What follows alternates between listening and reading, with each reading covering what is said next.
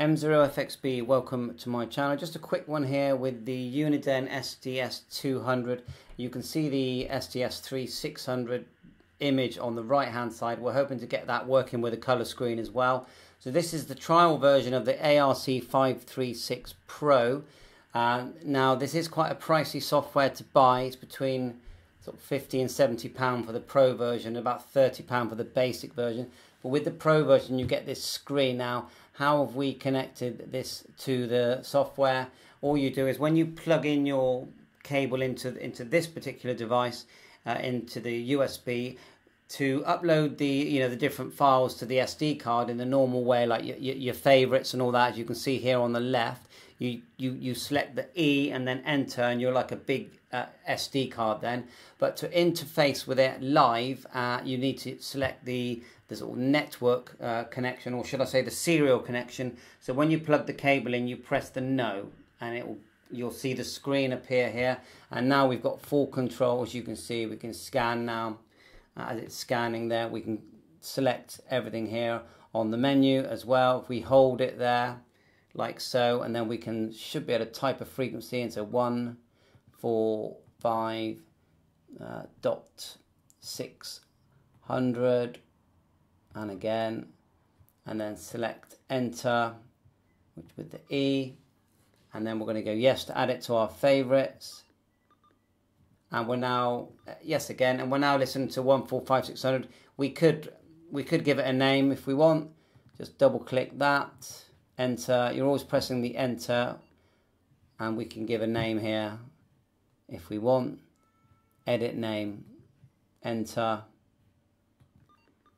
like so. Name exists. Okay, I'm just going to put enter for now and then back out completely by pressing the squelch button.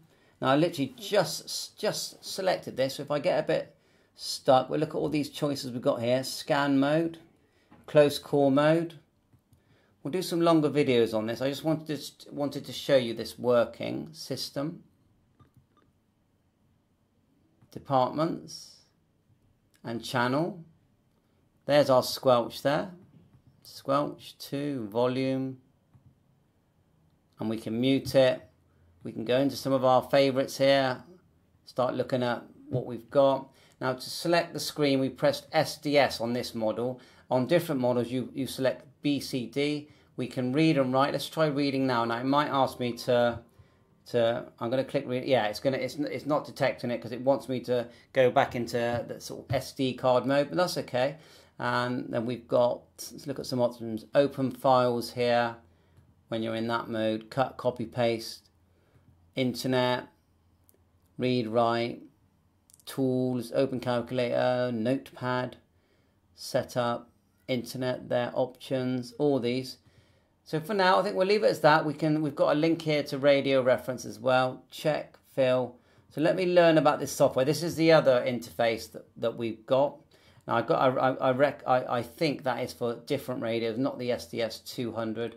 At the moment, that's the SDS 200. There. Can you see it says BCD models or SDS models? So I'll have to look up what the BCD models are. But right now it seems to be working fine. We've got a signal meter there as well. What's this one here? See that? I'm clicking that. not sure I can turn that. Does it move with this? So give me some time to suss it out. But thanks for watching my channel. And if we can get the SDS 3600 to have a color screen thanks to this software, then I think uh, I think it's a worthwhile investment. You can see there's a live log here as well as as th as items and frequencies are being received. If we hit scan here, starts to scan, live scan there. I'm guessing we could probably select the audio to come from the PC as well. Avoid replay menu there. That's your main menu. Zip I'm not sure. Oh yeah enter your zip menu if we go back. Back out completely. Then go zip should be able to put in our zip code yeah there you are and we can update the whole database USA and Canada go back let's hit the service one select service so we can select our service that we want to do as well. You go back by hitting menu. Up and down arrows there. F. That's the function key. Look, see the function key lighting up? Function. And we could probably select close call. If we go function, let's try it.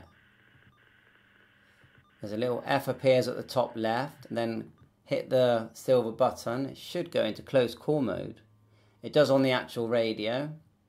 Do that again. Function, close call. No, let's hold it first then. Ah, no, I think it did. Function.